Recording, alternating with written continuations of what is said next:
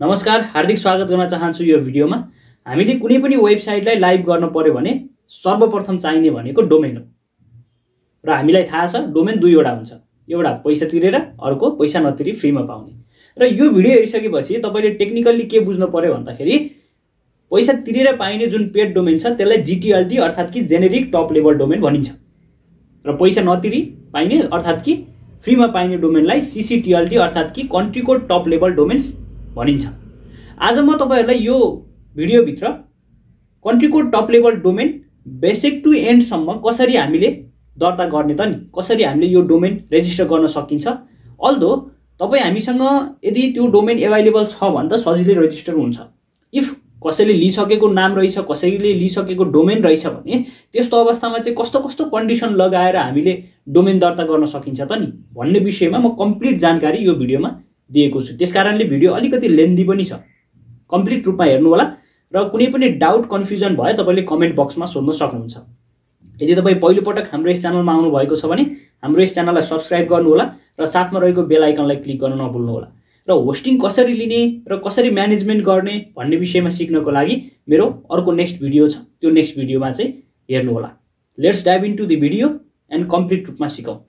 Okay हामीले कुनै पनि एक्सटेन्सनका डोमेनहरू जस्तै dot com dot NP dot info dot NP dot name dot NP dot coop dot NP यो जति पनि एक्सटेन्सनका डोमेनहरू छन् यो लिनुभन्दा अगाडि हामीले डकुमेन्टहरू चाहिँ प्रिपेयर गर्नुपर्ने हुन्छ। यो सम्बन्धित रहेर मैले एउटा ब्लग पनि रहेको छु। त्यसको लागि तपाईँले Vijay Kumar dot com dot NP वेबसाइटमा गएर यो ब्लग सेक्सनमा गएपछि तपाईँले भेट्नुहुन्छ यो how to register free domain in Nepal भन्ने छ। अथवा भेट्नु भएन भने तपाईँले सर्च बारमा गएर डोमेन भनी टाइप गर्नुभयो भने फ्याटअप भेटिहाल्नुहुन्छ।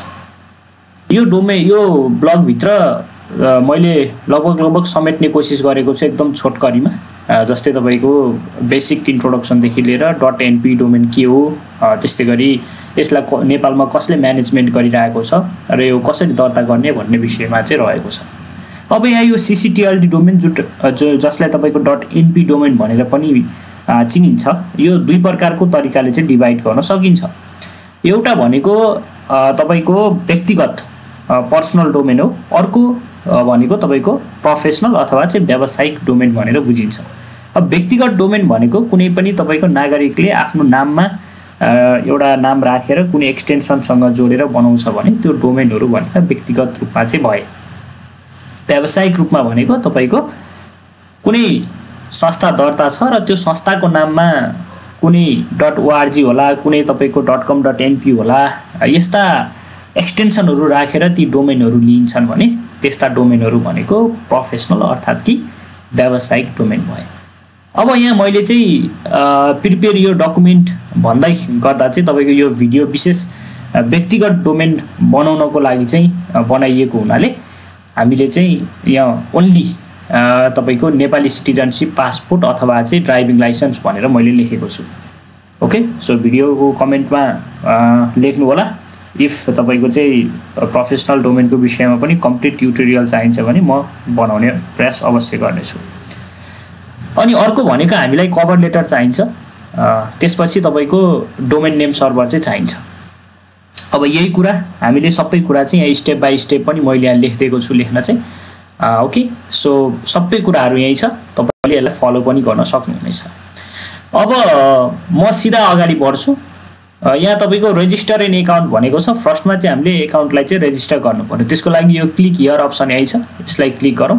अथवा तपाईँले register dot com dot NP type गरेर यहाँ युजर लगइनमा आएपछि तपाईँले यो क्रिएट युजरमा गएर पनि सिधा यहाँ आउन सकिन्छ। अब यसको लागि अब सबै डेटाहरू फिलअप गर्नुहोस्। ओके सबै भरिसकेपछि तपाईँले क्रिएट एकाउन्ट अप्सनमा चाहिँ क्लिक गर्नुहोस्।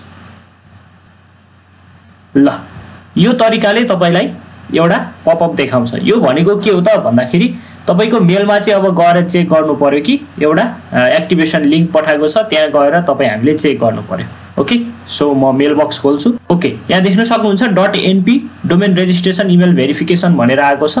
यसलाई मैले क्लिक गरेँ र यो लगतै मैले यसलाई भेरिफाई गरिदिएँ। यसलाई भेरिफाईमा क्लिक गरौँ ग्रेट भेरिफाई भयो राइट अब यो भएपछि मैले चाहिँ युजर लगइनमा जान्छु। अनि त्यसपछि मैले भर्खरै राखेको इमेल आइडीहरू र पासवर्ड राख्छु। र साइन इन गरेँ। ल हेर्नुहोस्। साइन इन गर्ने बित्तिकै तपाईँको यो तरिकाले चाहिँ एकाउन्ट खुल्छ। इफ तपाईँको एकाउन्ट खुलेछ छैन भनेर कसरी थाहा हुन्छ त भन्दाखेरि हो यो अप्सन जुन देख्नु भएको छ यहाँ चाहिँ तपाईँको नाम लेखेको हुन्छ। साइन इन भएको छ भने इफ छैन भने युजर एकाउन्ट भनेर चाहिँ लेख्छ। राइट ल अब यो पछि अब हामी दोस्रो स्टेपमा जाउँ। दोस्रो स्टेप भनेको हामीले के छ त भन्दाखेरि डोमेनलाई सर्च गर्नु पऱ्यो अब नाम सर्च गर्दा मैले विजय कुमार भनेर सर्च गर्छु पहिला। सर्च बारमा गएर र एक्सटेन्सन यहाँ अलरेडी छ सो मैले चाहिँ यहाँ डट कम डट एनपी छुट्टै राख्नु परेन। सर्च अप्सनमा मैले क्लिक गरेँ। Okay so Vijay Kumar dot com dot NP is already taken भनेको छ। अब यस्तो अवस्थामा तपाईँको चाहिँ कसरी लिने त नि फेरि नाम भन्ने अप्सन चाहिँ रहन्छ। यो चाहिँ फर्स्ट कम फर्स्ट सर्भको आधारमा चाहिँ रहन्छ यसले काम गर्छ।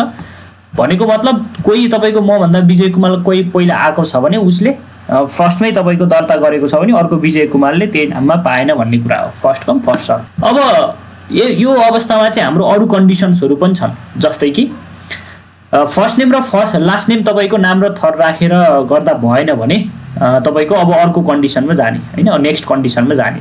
नेक्स्ट भनेको तपाईँको मिडल नेम छ कि छैन त्यो पनि हेर्नु। इफ मिडल नेम छ भने आफ्नो त्यो राखेर पनि मिल्छ। जस्तै फर्स्ट नेम मिडल नेम र लास्ट नेम राख्दा पनि भयो। यदि यो पनि छैन यो पनि अरू कसैले लिइसक्यो भने last name and first name. यो कन्डिसन एप्लाई गर्दा हुन्छ। म अहिलेलाई गरिहालेँ है त? सो मैले Kumar Vijay dot com dot NP भनेर टाइप गरेर सर्च गरेँ। भने ओके सो यो पनि अरू कसैले लिइसक्यो। यो लास्ट नेम र फर्स्ट नेमको पनि लिइसक्यो भनेपछि अब first name first name and first letter of last name हो यो तरिकाले पनि गर्न मिल्छ। होइन? नाम लेख्ने अनि थरको पहिलो अक्षर मात्रै लेखेर पनि गर्न मिल्छ। जस्तै मैले यहाँ विजय के भनेर टाइप गरेँ? Dot com dot NP search. Okay so यो पनि कसैले लिइसक्यो। यो कन्डिसन पनि एप्लाई गरेन। भनेपछि अब अर्को कन्डिसनमा जाने जस्तै कि यहाँ first letter of first name and last name भनेको छ। भनेको मतलब मैले फर्स्ट लेटर भनेको मेरो विजय भयो। विजयको बी भयो। कुमालको कुमाल नै भयो। त्यसपछि सर्च गऱ्यो भने सो यो एभाइलेबल छ। राइट हो B Kumar dot com dot NP यसरी पनि हामीले के गर्न सक्छौँ त भन्दाखेरि दर्ता गर्न सक्छौँ। अब यो कन्डिसन पनि एप्लाई भएन र तपाईँको एप्लाई भए तापनि मलाई चाहिँ यो नाम चाहिँ मन परेन र म थोरै एड्रेस चाहिँ चेन्ज गर्छु भन्यो भने first letter of first name अनि मिडल नेम र लास्ट नेम तपाईँको चाहिँ यो छ भने यो एप्लाई गर्दा हुन्छ। अथवा तपाईँले first name last name and number तपाईँले यहाँ विजय कुमाल भनेर यहाँ तपाईँले जानुहोस् जस्तै मैले सर्च गरेँ विजय कुमाल एक दुई तिन भनेर राख्न पनि मिल्छ। नम्बर राखेर अनि मैले सर्च गरेँ भने पनि यो पनि मिल्छ यो पनि पाइयो। है हो यो तरिकाले पनि हामीले चाहिँ के गर्न सक्छौँ त भन्दाखेरि डिफ्रेन्ट डिफ्रेन्ट तरिकाले चाहिँ हामीले कन्डिसन्सहरू लगाएर चाहिँ काम गर्न सक्छौँ। अब यो बाहेक पनि अरू कन्डिसन्स छन् जस्तै कि यहाँ तपाईँको एक्सटेन्सन हेर्नुभयो भने यहाँ चाहिँ तपाईँको डट कम छ अर्को डट तपाईँको चाहिँ इन्फोर छ र डट नेम छ है? हो यो जति पनि तपाईँले देख्नु भएको छ यो भनेको सर्वसाधारण रूपमा जोसुकैले पनि लिन मिल्ने तपाईँको एक्सटेन्सनहरू हो। जस्तै डट कम डट एनपी मैले Vijay Kumar dot com dot NP लिन मिल्छ। डट इन्फो डट एनपी पनि मैले लिन मिल्छ व्यक्तिगत रूपमा र डट नेम डट एनपी पनि व्यक्तिगत रूपमा लिन मिल्छ। अब यो बाहेक dot EDU dot GOV dot net dot ORG भनेको यसको लागि चाहिँ संस्था दर्ता हुनुपर्छ। राइट सो त्यस कारणले गर्दा हामीले अब के गर्छौँ त भन्दाखेरि यसमा मैले कन्डिसनमा चाहिँ तपाईँको अर्को के छ एक्सटेन्सन चेन्ज गरेर पनि मैले डोमेन लिन मिल्छ भन्न खोजेको छ। अर्थात् कि मैले तपाईँको यहाँ विजय कुमाल यो डट कम डट एनपीको ठाउँमा डट इन्फो डट एनपी पनि राखेर चाहिँ लिन मिल्यो। अब इन्फो डट एनपी राखेँ र सर्च गरेँ भने एभाइलेबल छ। सो मैले अब यो डोमेन चाहिँ मैले के गर्न मिल्यो त भन्दा लिन मिल्यो। राइट सो अब let's go head I hope तपाईँले बुझ्नुभयो होला एक्सटेन्सन चेन्ज गरेर पनि। सो अब तपाईँको तिनवटा एक्सटेन्सनमा काम गरिन्छ भने एक दुई तिन चार पाँच छ सात। भनेपछि सात त्यहाँ एक्काइसवटा कन्डिसन्सहरू हामी हाम्रो बिच रह्यो।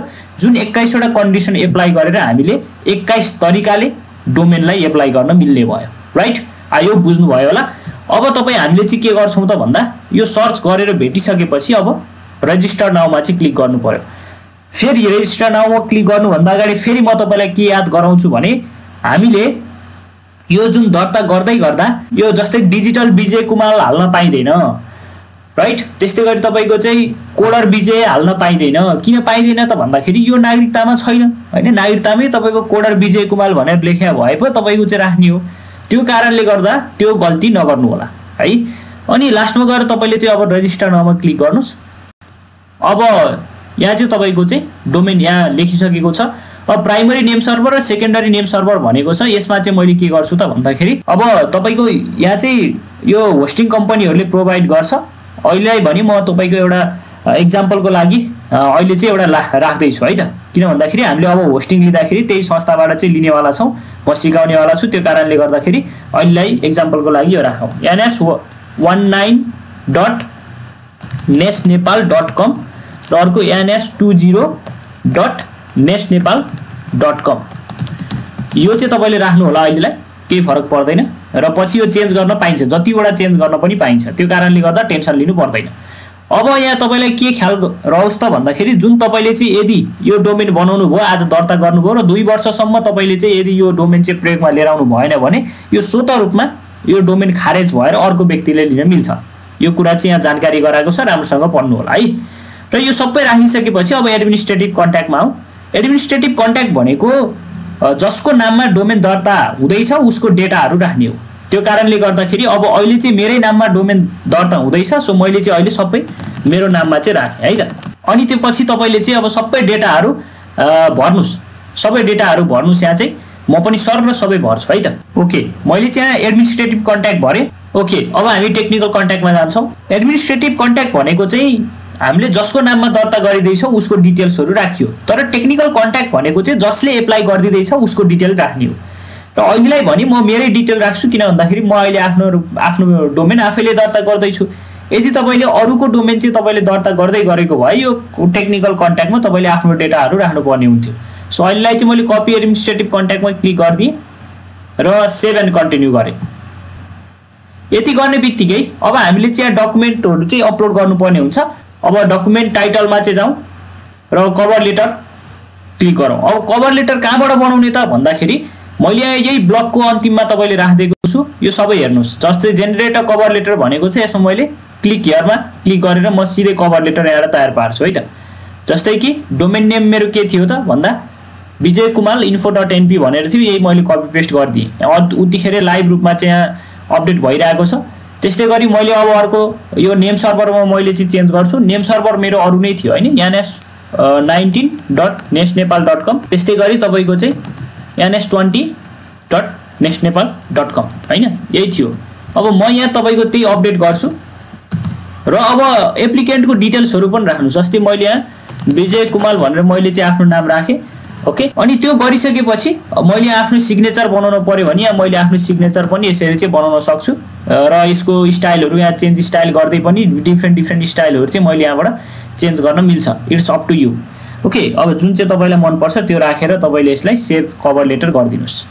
ल हेर्नुहोस् यहाँ कभर लेटर आइसक्यो। अब मैले चाहिँ के गर्छु त भन्दा यहाँ कभर लेटर चाहिँ अपलोड गर्छु। ओके तपाईँलाई के रिमाइन्ड गराउन चाहन्छु भने हामीले कभर लेटर अथवा जति पनि यहाँ फोटोजहरू राख्छौँ त्यो सबै राख्दै गर्दा चाहिँ हाम्रो चाहिँ त्यसको फर्मेट जेपिजी अथवा जेपिइजीमा चाहिँ हुनुपर्ने छ ओके अब म ब्राउजमा चाहिँ क्लिक गर्छु। म सिधा तपाईँको फोल्डरमा गएर मैले लेटर चाहिँ अपलोड गरेँ। सो फर्स्टमा चाहिँ लेटर अपलोड गरेर सेभ इमेज गर्नुहोस्। र यसको साइज दुई सय किलोबाइटभन्दा कम हुनुपर्ने छ ओके अब मैले सिटिजनसिप पनि यहाँ अपलोड गरिदिन्छु। त्यसको लागि मैले यो डकुमेन्ट टाइटलमा गएर रेजिस्ट्रेसन स्ल्यास सिटिजनसिप डकुमेन्टमा मैले क्लिक गरेँ। ब्राउजमा क्लिक गरेँ। त्यो पश्चात मैले सिटिजनसिपको अगाडिको भाग यहाँ चाहिँ अपलोड गर्छु र यो मैले फेरि भनेको छु दुई सय किलोबाइटभन्दा कम हुनुपर्छ।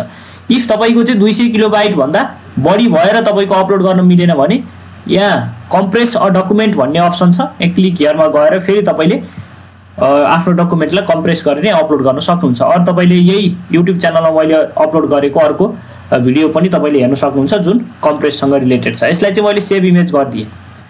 अपलोड भयो। अब त्यस्तै गरी मैले अर्को पनि क्लिक गरेँ। र मैले सिटिजनसिप फेरि यहाँ त्यही तपाईँको चाहिँ पछाडिको भाग अर्को पटकमा मैले गर्नुपर्ने हुन्छ। त्यसपछि मैले पछाडिको भागलाई अपलोड गरेर फेरि सेभ इमेज गरेँ। सो यसरी चाहिँ मैले तपाईँको तिनवटै डकुमेन्ट चाहिँ यसरी चाहिँ तयार पारेँ राइट र यो तयार पारेको डकुमेन्ट अब मैले चाहिँ रिक्वेस्ट डोमेनमा मैले क्लिक गरेर मैले रिक्वेस्ट गरिदिन्छु। ओके सो मेरो चाहिँ यहाँ तपाईँको यसरी रिक्वेस्ट भएको छ। र यो रिक्वेस्ट भइसकेको तपाईँको बहत्तर घन्टासम्म अथवा चाहिँ तपाईँको कहिलेकाहीँ हप्ता दिन लाग्छ यो सिस्टम स्लो भएको बेलामा। त्यस्तो अवस्थामा चाहिँ तपाईँले कुर्नुपर्ने हुन्छ। यो वेट गर्नुपर्ने हुन्छ र जब तपाईँको चाहिँ एक्टिभेट हुन्छ एक्टिभेट भएपछि तपाईँले चाहिँ अनि यहाँ चाहिँ एक्टिभ सेक्सनमा गएर यो एक्टिभ भएको डोमेन चाहिँ हेर्न सक्नुहुन्छ। जस्तै कि म यहाँ इक्जाम्पल देखाउँछु। ओके यहाँ मैले केही डोमेनको इक्जाम्पल्सहरू देखाएको छु। हो यो ठाउँमा तपाईँले एक्टिभ डोमेनमा आएर हेर्नुभयो भने तपाईँले यसरी चाहिँ एक्टिभका डोम एक्टिभ भएका डोमेनहरू यसरी एक्टिभ एक्टिभ एक्टिभ भएको देख्न सक्नुहुन्छ। ओके?